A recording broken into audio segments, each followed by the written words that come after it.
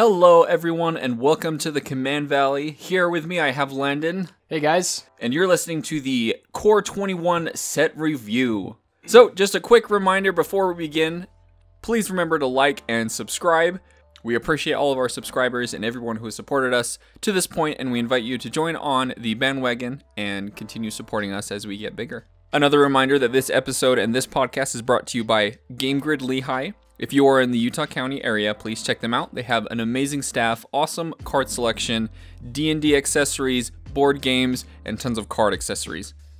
All right, so if you guys haven't joined on one of our set reviews before, let me go ahead and describe how we do it. We don't go over every single card. We're only going to go over the cards that we think are relevant in Commander or have a conversation uh, that deserves to be said. We're just going to be taking turns uh, going back and forth talking about each card that we like. That way we can keep it basically to a minimum. We don't want to spend three hours talking about this set. We only want to be covering the most relevant things for a more casual commander environment. With that, I'll, I'll start us off talking about Basri Ket, the Planeswalker. He costs one white white and he enters with three loyalty counters. He has a plus one ability that says put a plus one plus one counter on up to one target creature. It gains indestructible until end of turn. His minus two says whenever one or more non-token creatures attack this turn, create that many one one white soldier creature tokens that are tapped and attacking. And his minus six says you get an emblem with at the beginning of combat on your turn, create a one one white soldier creature token, then put a plus one plus one counter on each creature you control. I feel like this is a super good planeswalker in like the decks that want it and the decks that can abuse either plus one plus one counters or uh, the specific white soldier not human creature token such as winota decks. One of our friends has a winota deck and it's absolutely brutal. Um, if you're not familiar with winota whenever a non-human attacks you can dig six cards deep in your library and put a, a human into play tapped and attacking with indestructible. So Basri Ket essentially makes tokens that can trigger winota a lot and even still, his minus two, being able to make a bunch of tokens uh, tapped and attacking is also super useful. I, I, like I said, I think he is in a. I don't think he's an auto include in white decks, but like in a deck that is going to be attacking a lot and is super creature heavy, I think he's a pretty good insert. Moving on, we have Chandra, Heart of Fire, three red red for five loyalty planeswalker.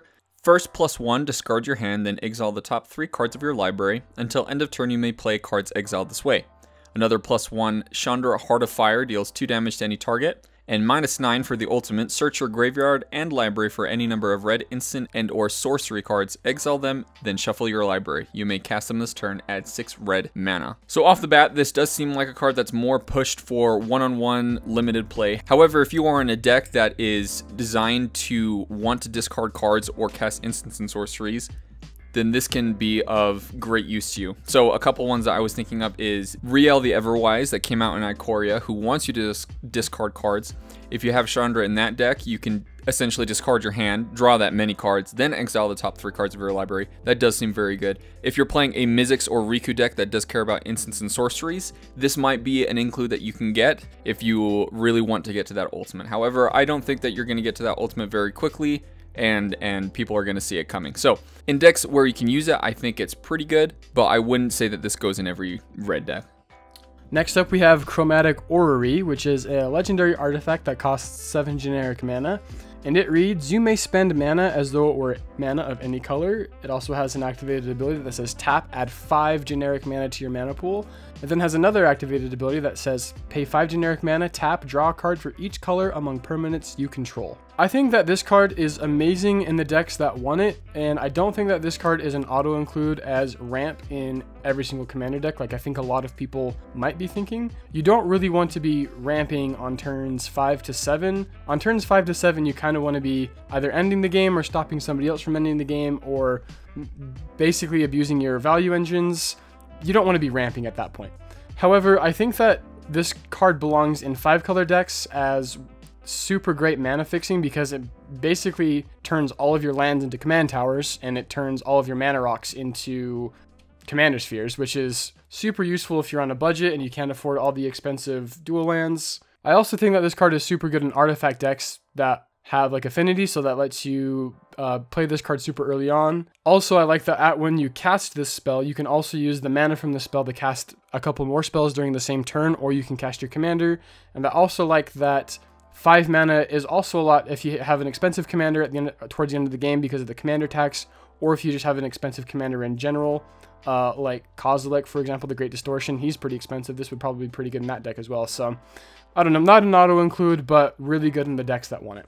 Next up, we've got Discontinuity, which is three blue, blue, blue for an instant. As long as it's your turn, this spell costs two blue, blue less to cast, and the turn. And I'm going to read the reminder text just so we know what that means. It says, Exile all spells and abilities from the stack, including this card. The player whose turn it is discards down to their maximum hand size. Damage wears off, and this turn and until end of turn effects end. So there's a lot that can go into ending somebody's turn, especially because this is an instant. So if you are trying to stop somebody from comboing off on your turn, you can stop the turn, exile all spells on the stack for one and a blue. However, if you want to hold this up for mana for other people's turns, that is six mana that you have to hold up. I, I don't love that. I, I honestly would only use this card if I want to abuse it in my deck and not use it as interaction for, for other people's decks. However, I will say that ending the turn is a very powerful effect, and if you and if you have ways of being able to cast spells without paying their mana cost, then Discontinuity might be the perfect card to interact with your opponents. Next up, we have Fiery Emancipation. It is an enchantment that costs 3 red, red, red, and it reads If a source you control would deal damage to a permanent or player, it deals triple that damage to that permanent or player instead. That is uh, quite the burn card right there. Um, I guess Wizards has decided that they really like the idea of doubling and tripling things lately, and they're just sticking it on all types of permanents. So I think that this card really doesn't have a ton of mechanical downside to playing it in a deck. Like any deck that is in red and is trying to win the game, this only helps that deck win the game. I mean, the whole point of Commander is to deal damage to your opponents. This triples the speed of that process. I think the only downside to Fire Emancipation really is you become the archenemy, right? Everybody is trying to get rid of Fire Emancipation, and if they can't get rid of Fire Emancipation, they're just going to try and get rid of you. Um, so I probably wouldn't put this in a deck unless I knew after casting it I could win the game shortly thereafter. And I think the only way that you could really guarantee that is if you have a commander in the command zone that is effectively going to win the game because you will always have access to that commander. So like cards like Heartless Hidetsugu or uh, commanders that care about combat or are hasty. Um, basically commanders like that. Otherwise, play it at your own discretion. Just be prepared for everybody to team up on you basically. So um, maybe if you have like a huge board built up too, and you kind of use this as like an overrun effect, so you just cast this, go to combat, and then win the game right there. That might work too. But yeah, I actually really do like Fire Emancipation. It reminds me almost of a Thousand Year Storm except in mono red. And the way that Landon loves playing Thousand Year Storm, and what we tend to see with Thousand Year Storm is, is if it sticks around for one turn, we know the next turn he is going to win. That's kind of what I feel like with Fire Emancipation. If you have a deck that is meant on building, a deck that is meant to do combat damage, especially if you're in red, if this can stick around and you can untap with it, you can win win the game with this very easily. Some some decks that I would put this in are Brion the Stout Arm, Purphoros, the Bronze Blooded and Purphoros, uh, original Purphoros, uh, Torbran, and the cards that I would use to win with Fire Emancipation are things like Comet Storm, uh, Chandra's Ignition, and even a Gutter Snipe if I wanted to just storm off with some some burn spells. Also, let us know down in the comments how much damage you would deal to your opponents if you have Fire Emancipation and Torbran out and you cast a Lightning Bolt. See if you can answer that question. Next up, we've got Garruk Unleashed. For two green green, we have a four loyalty legendary planeswalker Garruk. He's back. He's dropped the black. Plus one, up to one target creature gets plus three, plus three, and gains trample until end of turn. Minus two, create a 3 3 green beast creature token. Then, if an opponent controls more creatures than you, put a loyalty counter on Garruk Unleashed. Minus 7, you get an emblem with at the beginning of your end step, you may search your library for a creature card, put it onto the battlefield, then shuffle your library.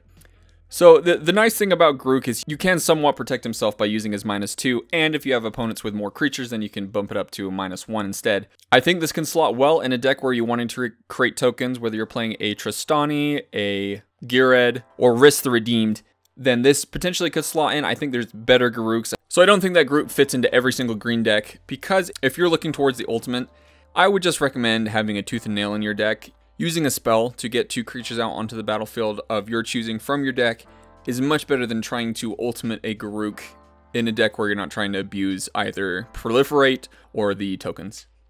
I think if your deck has a way of accelerating his loyalty counters, like if you're in a proliferate deck or like, like Atraxa or any other proliferate deck, I think it's also like I think that's super powerful. I mean, it triggers on the end step, so you as soon as you get the emblem, like you're gonna get value off of it.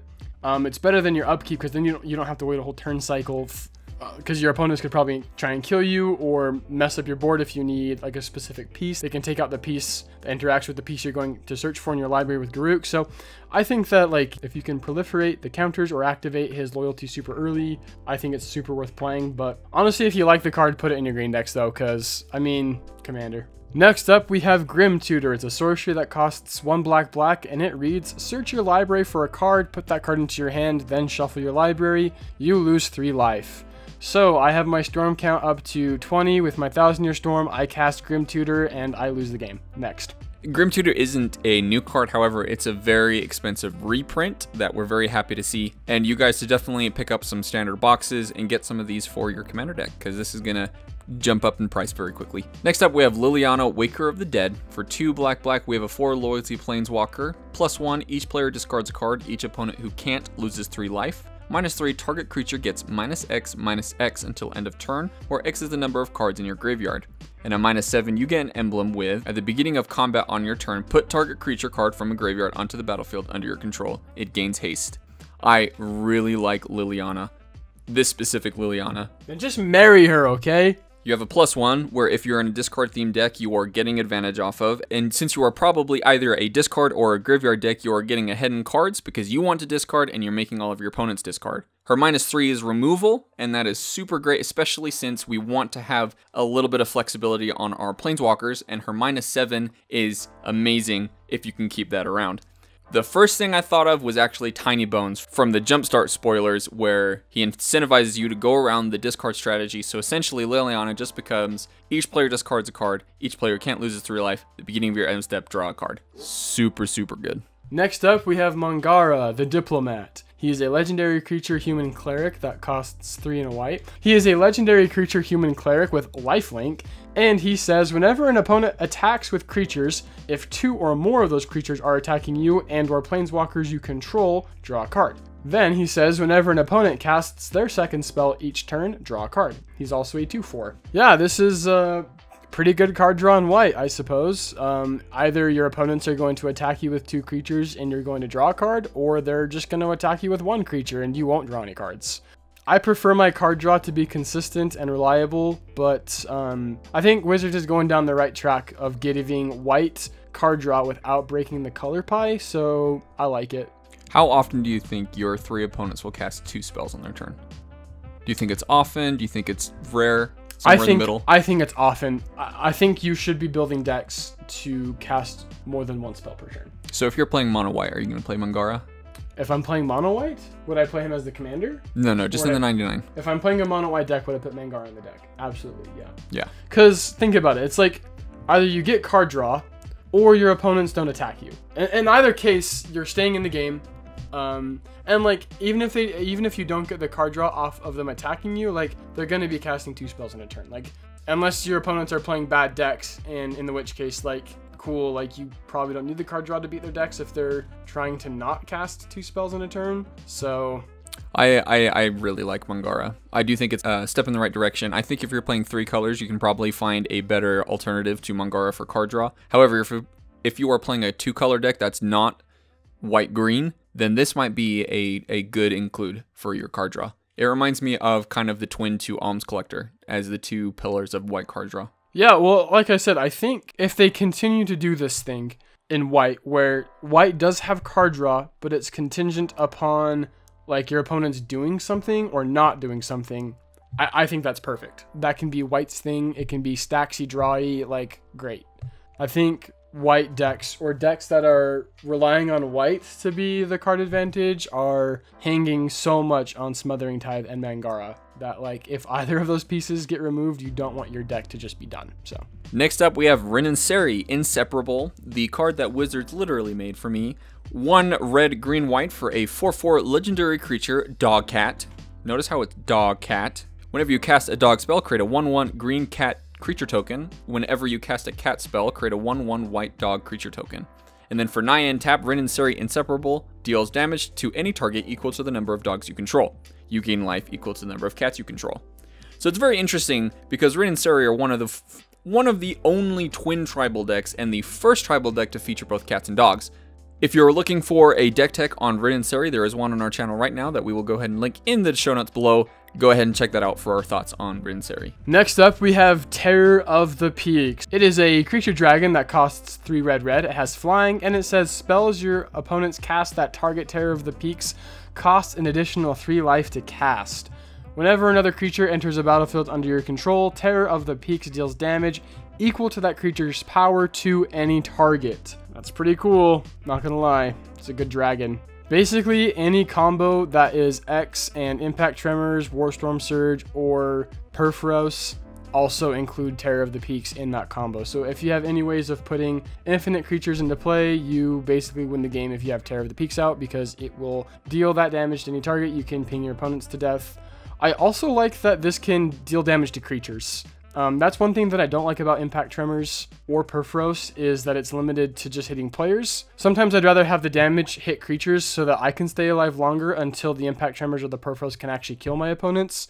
And so I think that having this extra flexibility is probably worth Terror of the Peaks being a little bit easier to kill.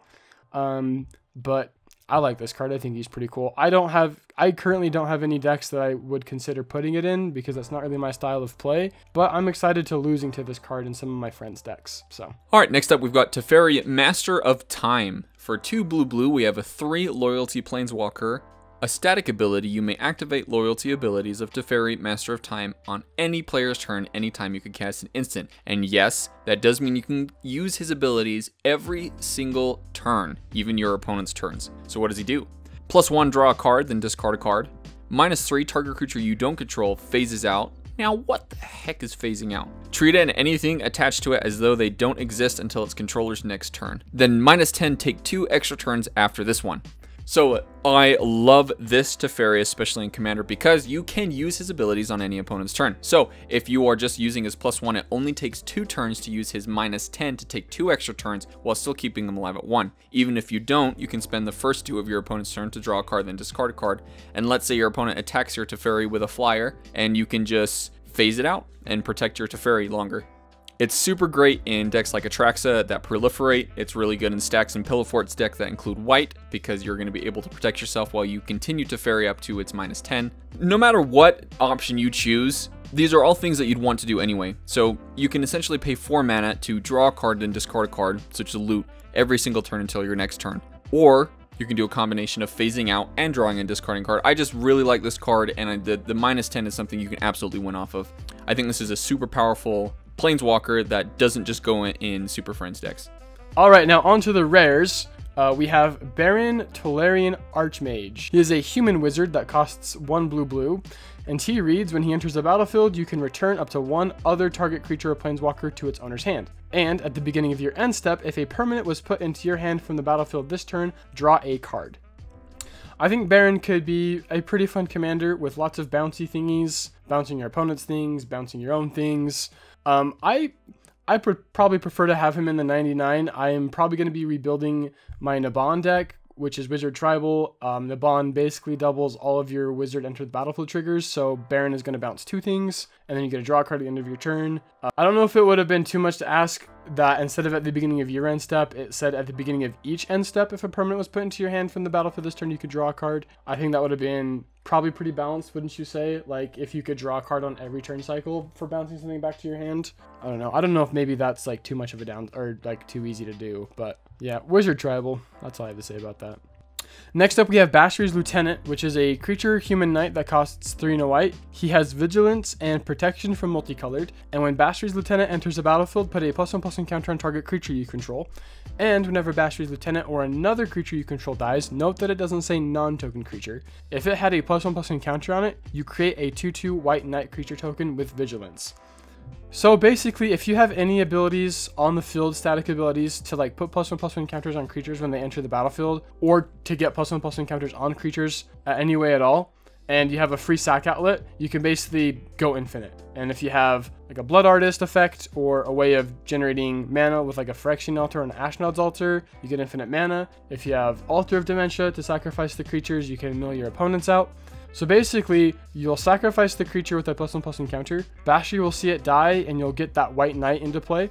And if you have like Cathars Crusade, or Good Fortune Unicorn, or Grumgully, or basically any way of putting a plus one plus encounter on a creature when it enters a battlefield, you can just reset that and do that again and again and again, perpetually sacrificing that uh, creature token that Bastion makes for the value for whatever sacrifice piece you're using. So, pretty cool. Another infinite combo piece. Um, I, I might put it in my Tayam deck. The only problem is he costs 4 mana, so Tayam won't be able to reanimate it.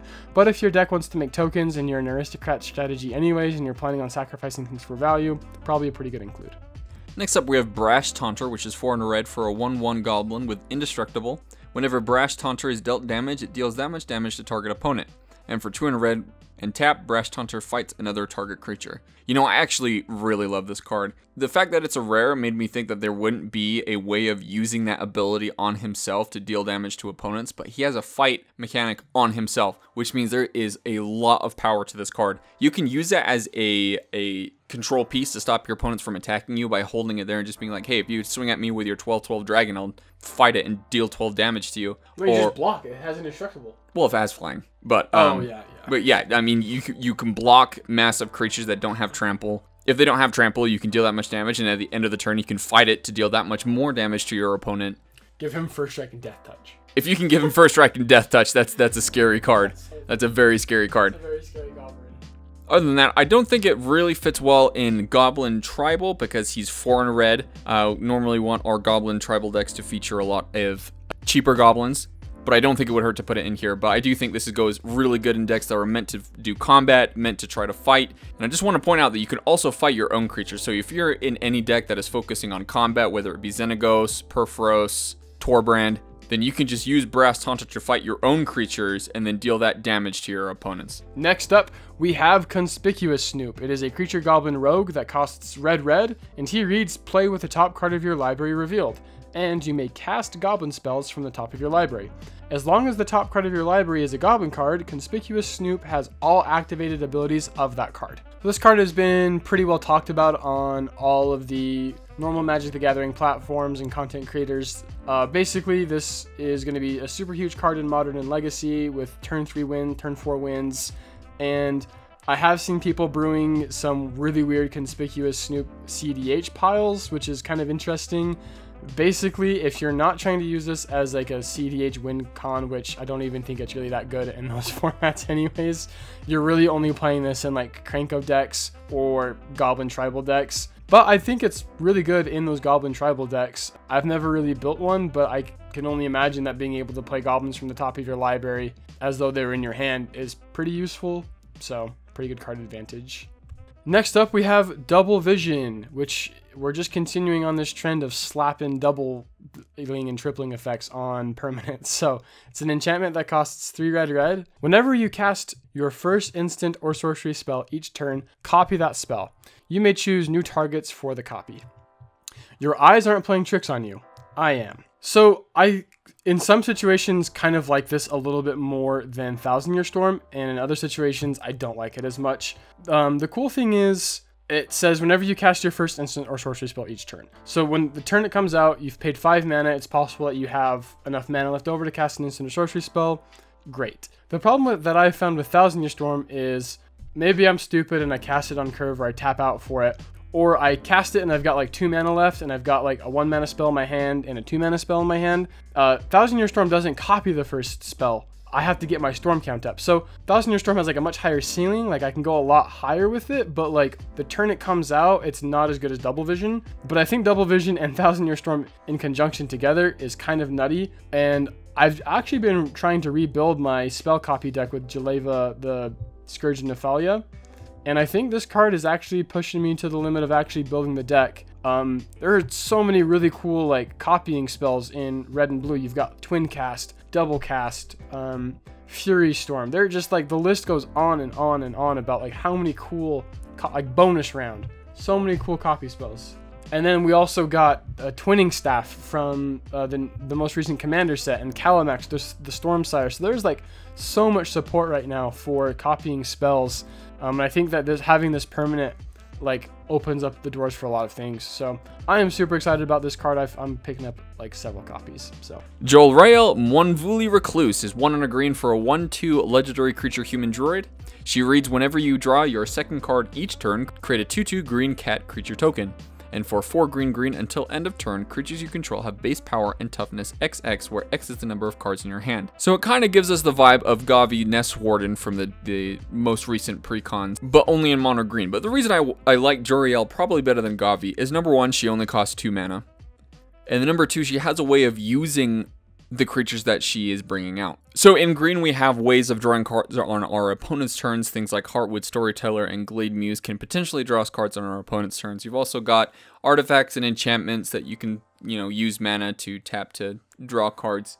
Most likely, you're just going to be creating cats on your turn, but you still have an ability to use those cats with Jolrael's second ability, especially if you're playing things like Parallel Lives and creating two tokens each turn and then finish your opponents off with a finale of devastation into a Craterhoof Behemoth.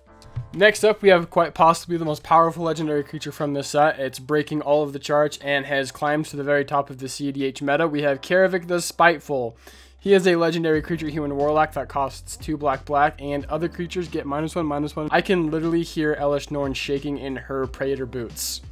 So I've gone on record before, and I'll say it again. Kaervek is honestly, I think just a strictly better Elesh Norn. Um, I think the fact that he can kill your creatures, whereas Elesh Norn cannot kill your creatures, is super undervalued.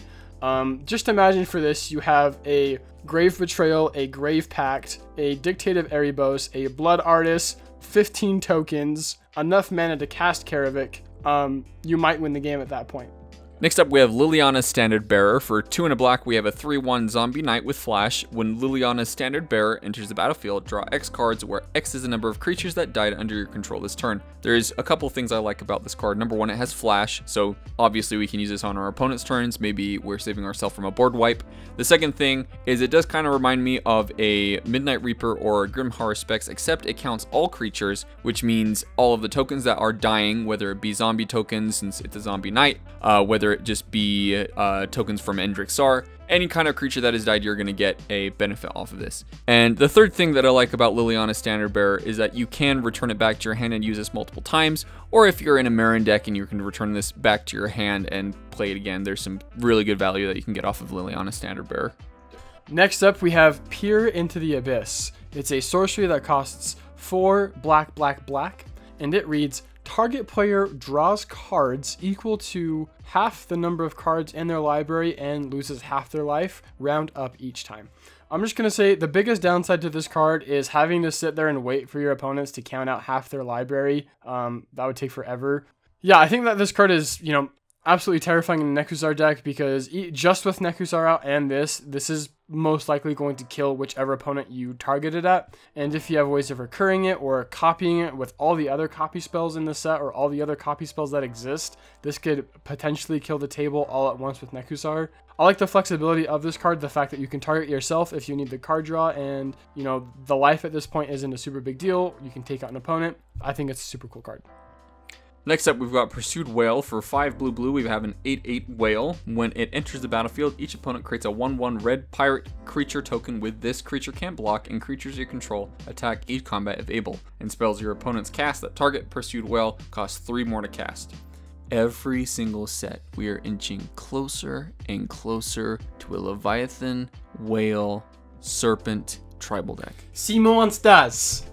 Next up, we have Radha, Heart of Keld. She is a legendary creature elf warrior that costs one red and a green.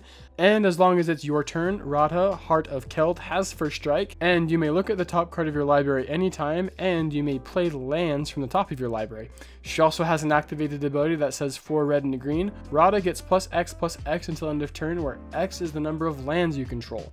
I think uh, in an elf tribal deck or a lands matter deck, she's pretty cool. Being able to play lands from the top of your library is super useful in a lot of different facets. Like if you've been drawing a ton of lands and you don't need any more, it's nice to get them off the top of your library. Or if like you've missed a land drop and like you drew something that you wanted to cast but you don't have enough mana and the land that you need is on top of your library that feels super good i also think it's super cool that she has really cool looking swords um, i think that there's probably something to be said that legendary creatures that have cool swords are a lot stronger than legendary creatures that don't have cool swords um, also she has uh, a win con stapled onto her where you can win with commander damage Next up, we have Sanctum of All, which is WUBRG for a legendary enchantment shrine. At the beginning of your upkeep, you may search your library and or graveyard for a shrine card and put it onto the battlefield. If you search your library this way, shuffle it. If an ability of another shrine you control triggers while you control six or more shrines, that ability triggers an additional time. I don't have very many opinions about this card, and neither does Landon. I am going to go ahead and summon Peter from the Netherworld to talk about this card, because I know he was very excited about it. I will tap all my lands and cast Peter. Yeah, Peter here. Um, I may or may not have brewed at least two decks with Sanctum of All. I'm a big fan of the the original Shrine cycle, and this is a big upgrade to have six new cards, and one of them being kind of a a tutor for all of those, bringing it together. A, a, a Shrine Lord, if you will. Um, built the deck with Sisay as the commander, and um, I mean it's it's jank, it's slow, but it's a lot of fun to get all of these shrines out. It gets Sanctum of All out on turn six.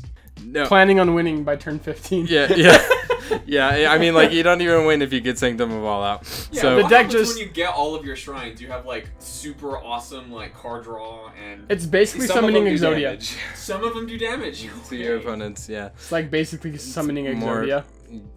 yeah. Basically, you you get a lot of mana, you get a lot of cards. you- Yeah, I mean, like it, it's it was fun to to build. I don't think I will ever actually play it, but um, but it's it's cool to see a, a tribe that was underrepresented in Kamigawa continued to to build on itself. Even if this is the last time we ever see shrines again, I'm happy. Next up, we have See the Truth, which is a sorcery that costs one in the blue, and it reads Look at the top three cards of your library, put one of those cards into your hand, and the rest on the bottom of your library in any order. But if this spell was cast from anywhere other than your hand, put each of those cards into your hand instead. So if you are in any type of Elsha of the Infinite, where you can cast instants and sorceries from the top of your library, or a Kess deck where you can cast them from your graveyard, or Jeleva where you can cast them from exile. Um, otherwise, like in any deck other than those, or any deck that can cast this anywhere from your hand, this is just a bad anticipate, um, and I'd rather just play anticipate. But if I'm in the deck that wants it, it's pretty good for two mana.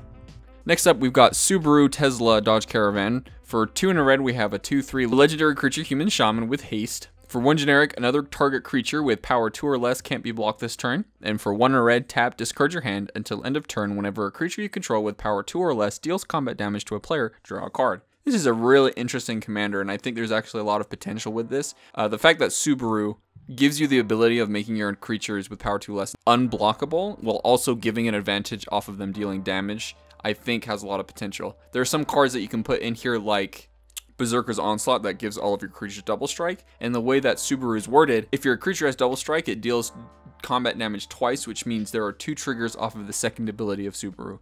Another card that goes really well in this deck is Bedlam, which is 2 red red for an enchantment that says creatures can't block. You don't even have to use her ability to make your creatures power 2 less unblockable. You also can put things like Torbran or Fiery Emancipation and just just deal extra damage off of it. I do think there's a lot of potential with Subaru. Uh, for our audio listeners, the actual name of the card is Subira Tulzidi Caravanner. For all of our video listeners, you know what I'm calling it. Moving on, we have Sublime Epiphany. It is an instant that costs 4 blue blue, and it is modal. It says choose one or more. Counter target spell, counter target activated or triggered ability, return target non land permanent to its owner's hand, create a token that's a copy of target creature you control, and target player draws a card. So this is basically just going up the chain in sequential CMC from Cryptic Command to Mystic Confluence to Sublime Epiphany. We've got 4, 5, and 6.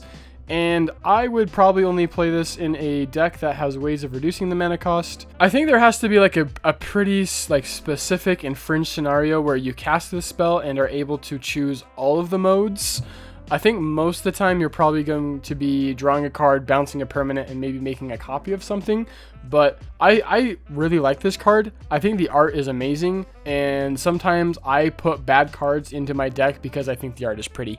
I'm not saying that this card is bad, but the art I, I really like the art. So I'm probably going to put this in a lot of my blue decks. Next up, we have Teferi's Ageless Insight, which is two blue blue for an enchantment. Legendary enchantment. If you would draw a card, except the first one you would draw on each of your draw steps, draw two cards instead.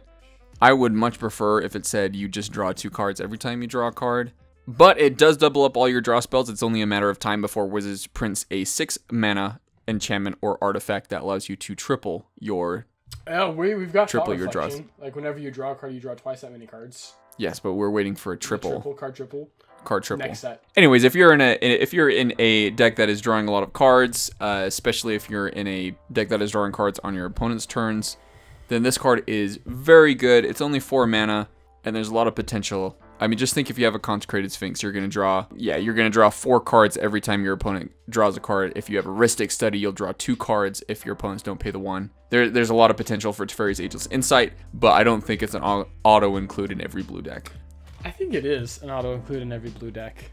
In every mono blue deck, at least. And finally, we have Vito, Thorn of the Dusk Rose. He is a legendary creature, vampire cleric that costs two and a black. He reads whenever you gain life, target opponent loses that much life. And he has an activated ability that costs 3 black black, and it says creatures you control gain lifelink until the end of turn. We've done a deck tech on this guy already. Griffin built a super cool deck based around him. If you want to check out that video, we'll have a link for that. I will be playing this deck in our upcoming Duels of the Peaks episode, so make sure you watch that so you can see the deck in action if you're interested in building it and you want to see how it plays out first.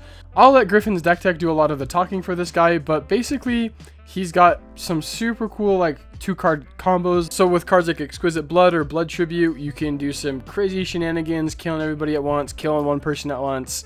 Um, some super cool shenanigans with Extorts. Basically, life gain in, in Commander isn't super great because a lot of times your opponents can kill you faster than you can gain life, but the fact that Vito turns your gaining life into opponents losing life, thus getting you closer to winning the game, is super cool and makes all those life gain spells that before weren't that great actually relevant. I've said this before, I love commanders like that that take a whole pile of irrelevant cards sitting in my binder and turn them into useful tools in a deck. So I'm super excited to play Vito. So and with that, this episode is coming to a close. Thank you guys so much for sticking around to this point. We really appreciate all of your support. If you like our content and you haven't subscribed yet, make sure you hit that subscribe button so you don't miss our future set reviews. We're going to be doing one for Jumpstart, and so you don't miss our deck techs that come out every Monday, and all of our gameplay videos where we're going to be featuring cards from the newest sets or just homebrews that we really like. That is content that you definitely don't want to miss. Again, thank you guys so much, and I hope you guys have a great week. Thanks for listening, guys. We'll see you next time.